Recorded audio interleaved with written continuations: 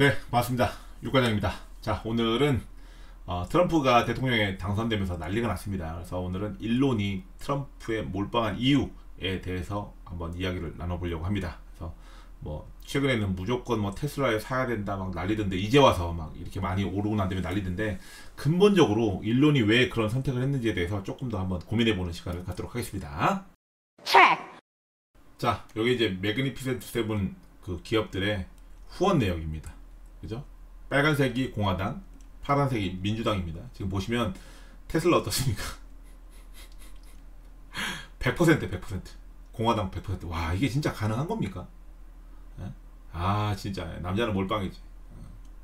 우리 일론 머스크만이 진정한 남자다.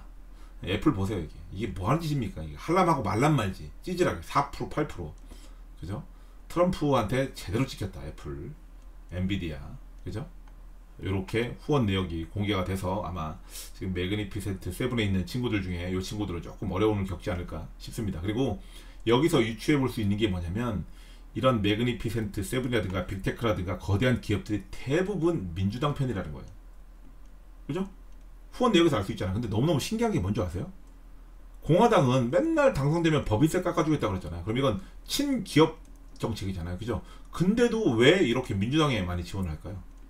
그렇잖아요. 지금 이제 트럼프 당선되니까 금융하고 그다음에 소형주들 막 엄청나게 올라가잖아요. 미국에 있는 내수 기업들 엄청나게 올라가고 있잖아요. 수혜를 본다고. 그죠? 법인세도 깎아준다고 하니까 어떤 대형 기업들도 많이 올라가고 있는데 이렇게 적극적으로 지지하는지 모르겠습니다. 아무튼 테슬라는 공화당에 몰빵을 했고 그게 엄청난 성공을 거뒀다. 자 그리고 그 Magnificent Seven 기업들 빼고 그 기타 기업들 한번 좀 보겠습니다. 예, 이쪽 민주당 쪽은 이제 볼 필요가 없습니다. 왜 니들 다 좆됐어 이제 볼 필요가 없습니다.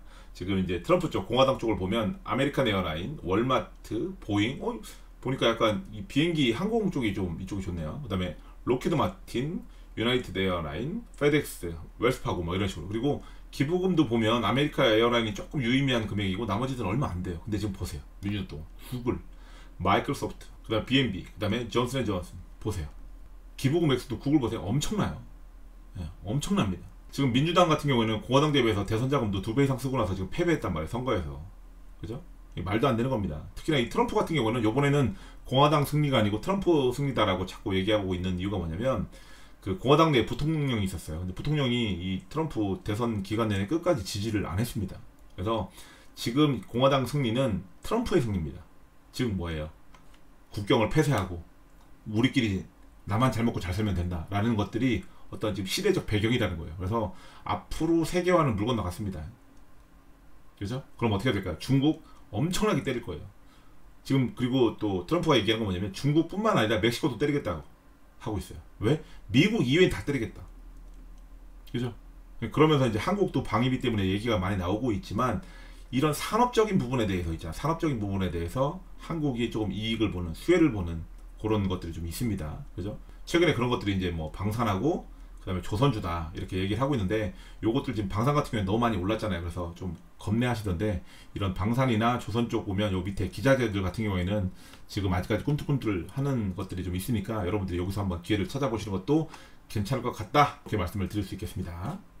자 그래서 오늘의 메인 주제로 다시 돌아왔습니다. 일론이 트럼프에 몰빵한 이유는 뭘까요? 음, 왜냐면 굉장한 리스크예요. 그죠? 몰빵한다는 건. 처음에 저희 이제 테슬람이거든요. 저희도 테슬라의 비중이 많은 친구들을 테슬람이라고 부르는데 테슬람들이 깜짝 놀랐어요. 야, 왜 저런 말도 안 되는 짓을 지 혼자 결정하는데? 그 전에 어땠어요? 어떤 정책 결정이나 주식 팔 때도 지 트윗에 올려갖고 이거 팔아도 됨, 이거 해도 됨 결정을 받았단 말이에요. 그런 건 결정을 받아놓고 왜 이렇게 어마어마한 리스크를 지 혼자 결정하냐 이거예요. 그래서 막 불만 볼멘 목소리가 엄청나게 많이 나왔습니다. 테슬라 이 신도들 중에서도. 근데 이제 결과적으로 놓고 보니까 어때요? 일단 성공했다 이거죠. 휴. 한숨 돌렸다 이거죠. 근데 나중에 이런 것들을 학자들이나 이제 경제학자들이 분석을 한 게 뭐냐면 일론 머스크는 그럴 수밖에 없었다 이거예요. 왜? 지금 미국 정부도 마찬가지고 그다음에 월가도 마찬가지고 테슬라를 좋아하지 않아요. 네, 좋아하지 않습니다. 매스미디어들도 마찬가지고 첫 번째 왜 테슬라를 왜 안 좋아할까요? 광고를 하지 않아요. 그죠? 그죠? 두 번째 뭐예요? 로비를 하지 않아요. 그렇잖아요. 그죠? 그리고 세 번째 뭐야? 딜러 마진도 없어요. 그죠? 이러니까 테슬라 좋아할 이유가 없다고요. 근데 기존에 있던 전통 자동차 업체들 있죠. 여기서는 로비 엄청나게 한다고요. 그러니까 어떻게 돼요?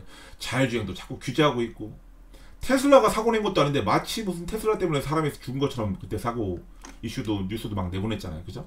술 먹고 차 안에서 잤는데 그게 테슬라 사고입니까? 그죠? 근데 마치 테슬라 때문에 무슨 사람이 죽었는데 살았네. 사이버 트럭 보세요. 이렇게 2차선에서 사이버 트럭은 이쪽으로 가고 있고 마주오던 트럭이 이렇게 갖고 중앙선 침범해서 부딪혔는데 뉴스에 뭐라고 났습니까? 사이버 트럭이 너무 튼튼해서 운전자가 많이 다쳤다 이거야. 아니 이게 무슨 말이에요? 보통 우리가 차가 튼튼하면 튼튼하다고 뭐라고 합니까? 오히려 차가 튼튼해서 안 다쳤다 이렇게 얘기하지 않나요? 어, 그 벤츠 같은 거, 지바겐 같은 거 보면, 와, 차 튼튼하고 좋다, 이러면서, 그죠? 사고 나도 안 다친다. 상대방 차는 많이 부셔지잖아요. 지바겐 안 부셔지는 대신에. 근데 그때 지바겐이 문제다, 이렇게 얘기합니까? 안 하잖아요. 근데 왜? 사이버 트럭은 문제라고 그래요. 어? 언론이 굉장히 편파적이에요. 그죠? 그리고 언론 자체도 민주당 쪽에 있는 친민주 쪽의 언론들이 많아요. 그러다 보니까 이번에 해리스하고 그 트럼프하고 압도적인 표 차이로 당선이 됐는데 불구하고 당선되기 직전까지 어땠어요? 여론조사는. 아, 아니다. 박빙이다. 모른다. 이렇게 했잖아요. 그죠? 이게 진짜 심각합니다.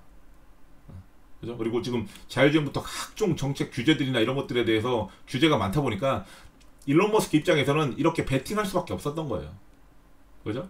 그런 부분들이 조금 이제는 좀 이해가 되지 않나 싶습니다. 대신에 어, 트럼프가 이제 당선되고 나서 한 1, 2년 정도 이렇게 반짝 아이고 우리 일론 머스크 기국공신이야. 어이 우쭈쭈 해줄 때 빨리 이런 정책들을 좀 푸셔야 돼요. 빨리 자율주행에 대한 제한이라든가 각종 규제들 그다음에 그 멕시코 이쪽에서 생산하는 것들 좀 뭐 관세 때리는 것들 조금 미국의 주요한 산업에 대해서는 좀 예외 조항을 만들어서 그좀 테슬라가 관세 이런 것들을 좀 피해갈 수 있도록 예외 조항을 빨리빨리 만들어서 좀 진행을 해야 되겠습니다. 그런 것들이 앞으로 한 1, 2년 내에 진행되는지 잘 모니터링 해보고 제가 추가적으로 또 말씀드리는 시간을 갖도록 하겠습니다. 그래서 이런 것들이 잘 돼야 테슬라가 400불, 500불도 갈 수 있다. 만약에 이런 것들이 잘 안 되고 흐지부지 되면 테슬라가 또 횡보가 나오거나 다시 또 200불대로 돌아갈 수 있는 그런 또 악재가 될 수 있으니까 여러분들도 같이 한번 이런 것들을 테슬라 미시라면 아니면 앞으로 테슬라를 좀 진입하려고 보고 계신 분들이라면 이런 것들을 같이 한번 잘 보셨으면 좋겠고 제 방송에서 또 한번 소재로 다뤄보도록 하겠습니다. 네, 육과장이었습니다.